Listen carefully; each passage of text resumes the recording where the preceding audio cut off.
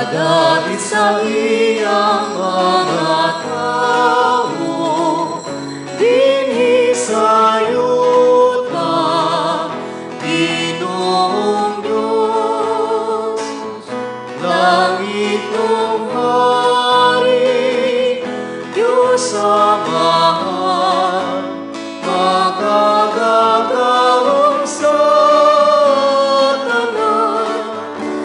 nagasimba kami kanimo, nagapasalamat kami kanimo.